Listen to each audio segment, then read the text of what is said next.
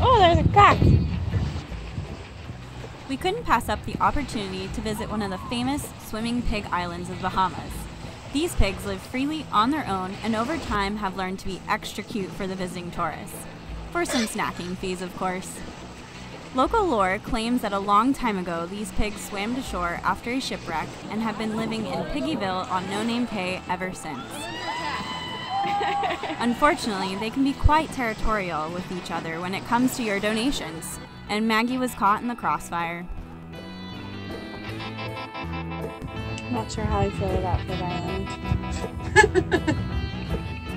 So what happens? You, pen- you penetrated in, and then when you pulled your leg, or when he pulled, and then it pulled out at an angle, and that's what ripped it to the surface. So it's a big old triangle. But yeah, you can see that's. See a nice squeeze there? Uh-huh. That's a fatty.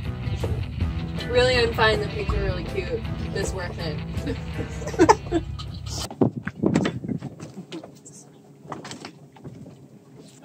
Bye, Chai. Later, James. Bye.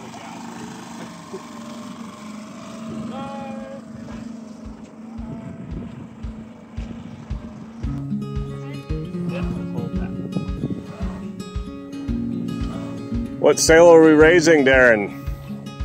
Starfire.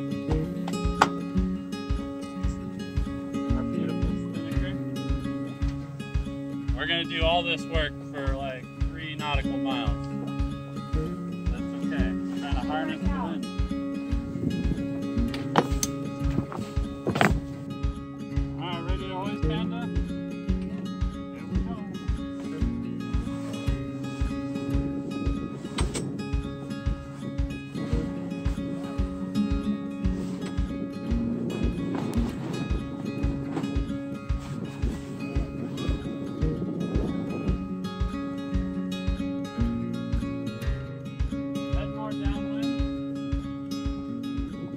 Needs to get some Florida feet. He's got a blister from his flippy flappies. And I'm like standing on the rope because I forgot to bring my flippy flappies and it's so hot. Look at Shit that. show. oh, there we go. Come on. Woo! And that's like the movie Up. Woo! Let's go! I'll be a woo girl for the spin fire. Spin spinnaker? Spinnaker. Spitfire? What did he call it? Spitfire Spinnaker. Okay, let's go over there. Up to the starboard side, get them both even. That way the sail has a really round, full shape, just pulling us dead downwind. Okay. I can see that. Yeah.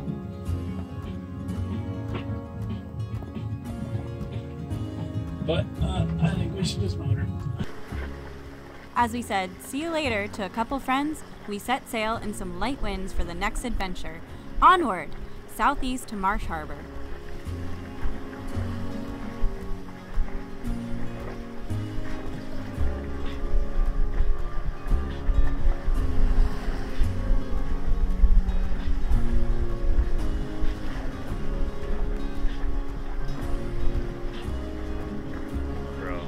So we're anchored here at Marsh Harbor. We anchored here so we can drop off Maggie. So we are down to three crew members now from a total of six. So the boat's feeling very empty.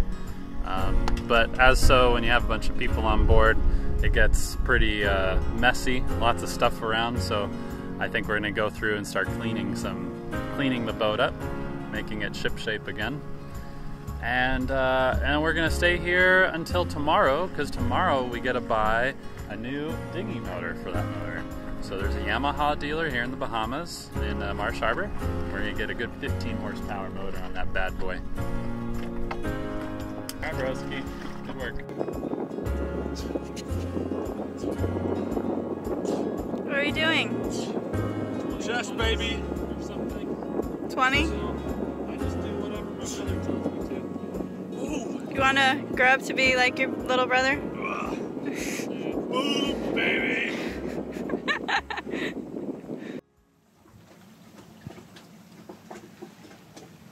this is our laundry pile we're creating. We just went through like a little bit of a squall. We're here in Anchorage, but went through a squall and we tried to collect as much water as possible. So we have like a couple buckets just full of water that came off the transom. We're gonna do some laundry, but then we saw there's another squall coming. So we're getting more stuff out on the deck, ready to be washed, and we can wash this stuff, and we can put it through a good rinse, and then it should be enough daylight at the end of the day uh, to get a good dry as well. Yeah. So, yeah, and we were able to collect like probably 15 gallons of, of fresh water, which is really really cool. All right, James. Well, we're deciding on what engine to buy for our dinghy. Well, we have a, uh, how big's the dinghy? Well, it's a 10 foot 10 foot uh, inflatable boat. Yeah, so according to our calculations, we probably recommended was probably somewhere around like four horsepower to maybe the eight. that'd be good. 15 was pushing it, Yeah. but they really cut us one hell of a deal, and so we decided to just do the 115. We really think the performance gain will be amazing. Um, we don't know if the dinghy will, it won't really float with a full person in it now, so uh, just gotta be careful.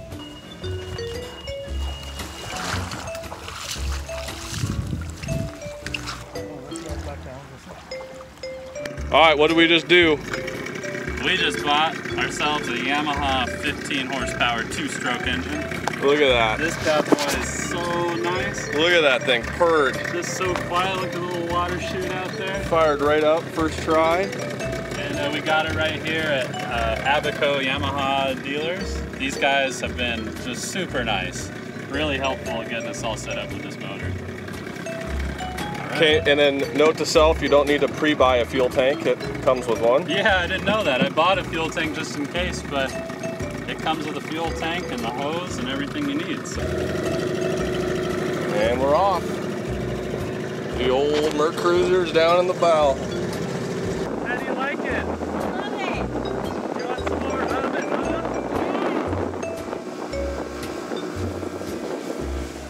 Motor really flies. She is beautiful.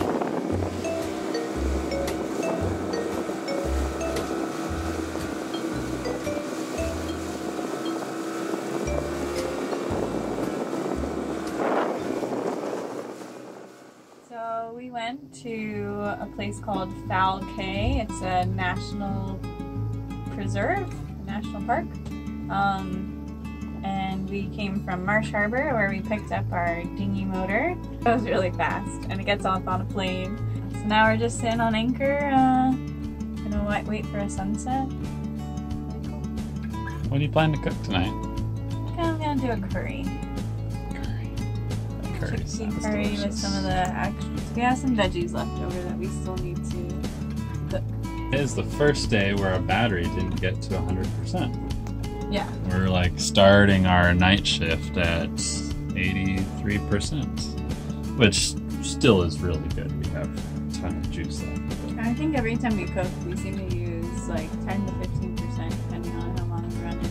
Yeah. That's either the pressure cooker or the oven, or sometimes both the um, the induction hot stove or the oven at the same time. Yeah. So why didn't we get full battery today? Because It's been really cloudy. ah really So it was, like, and on we, and off And we clouds. cooked a bit too, right? We had a couple meals. Yeah, I drained the battery from when we were at anchor. I cooked uh, made BLTs. Yeah, those were so good. treat. Got up to like 84, I think, earlier today too. Oh, okay. So now it's back to where we started, I think. Yep. Did pretty good. Not bad. Yeah. Oh, and you guys should take a look at this yacht. Check this out. It has a slide. I think you know you've made it when your boat has a slide. I kind of want to make a miniature slide now for SV Panda. And this is the island of Fowl Key. What we can see is maybe like half a mile off the island uh, are really good dive sites. They're all marked on maps. So tomorrow the morning time, when we have good sunlight, we will check that out.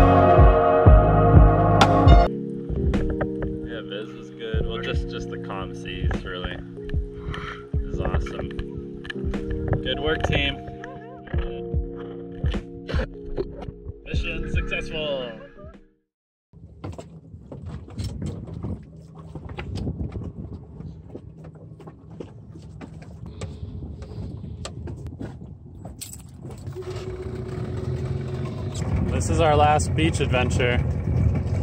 Last day, last beach adventure. Beach adventure! Sad day. Sad day. We're a slave driver on SV Panda. Go, James, go. Take us to shore. How's our depth meter over there? We're definitely dragon.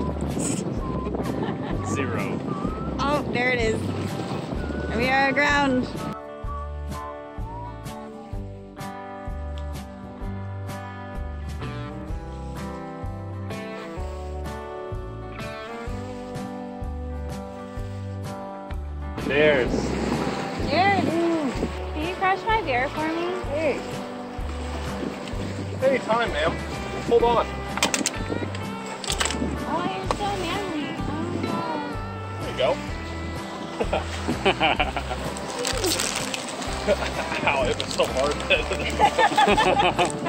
you know what a thumb gun is? Uh-oh. Oh, Hold. Here we go. Tubes made all good buddies.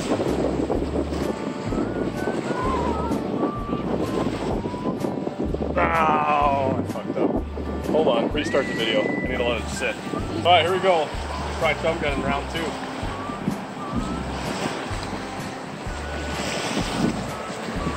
How many times can James thumb a beer? And he breaks his. Round Dude, I two, can always do it too. fail. It's like, just go, gah! Ow! Like a ninja would do. That's Coral gunning. coral gunning. Coral though. Oh.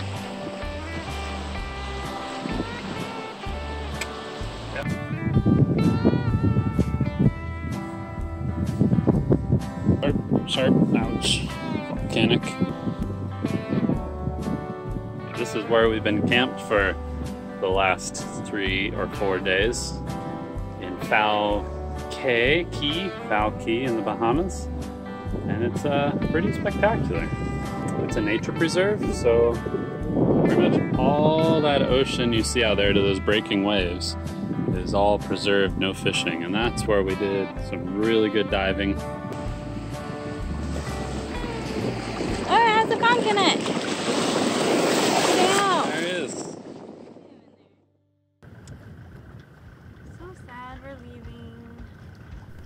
Our journey home takes us out into the deep waters of the Atlantic, northwest of the Bahamas, and back to Port Canaveral.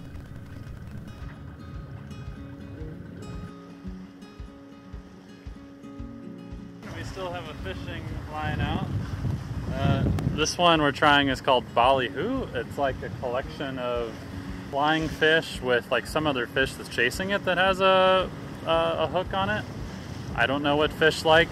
Uh, apparently, because I haven't even had any fish bite. Well, I had one fish bite earlier, but that was it. So we crossed the whole Gulf Stream and had no fish bite. So kind of a bummer but there's still a little bit, little bit of Gulf Stream left. Uh, hopefully, we'll have another chance to catch some fish. I know I let this one out not too far. We keep getting this like seagrass stuff caught up in the lures, so it really sucks. An amazing dinner being prepared at uh, quite an angle. See, Amanda's walking uphill right now to to get most of the onions in the pot. No, make it. give you a reference a level, there's our kindling stove.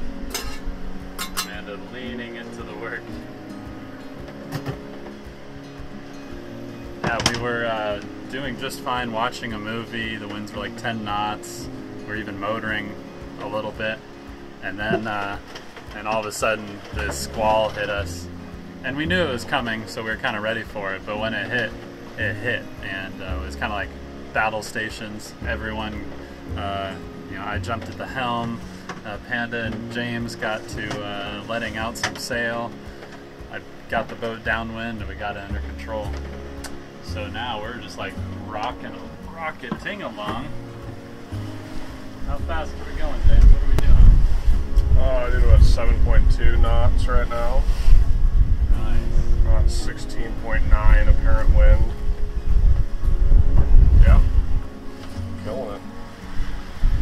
Have one reef in the main, uh, one reef in the Genoa, or is that two? I think we put two reefs in the Genoa, and then nothing in the mizzen. So our sail plan is looking pretty balanced right now.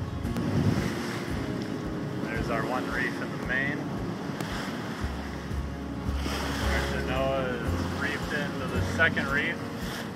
And then our mizzen is Thanks for joining us. Please subscribe and hit that thumbs up. Cheers!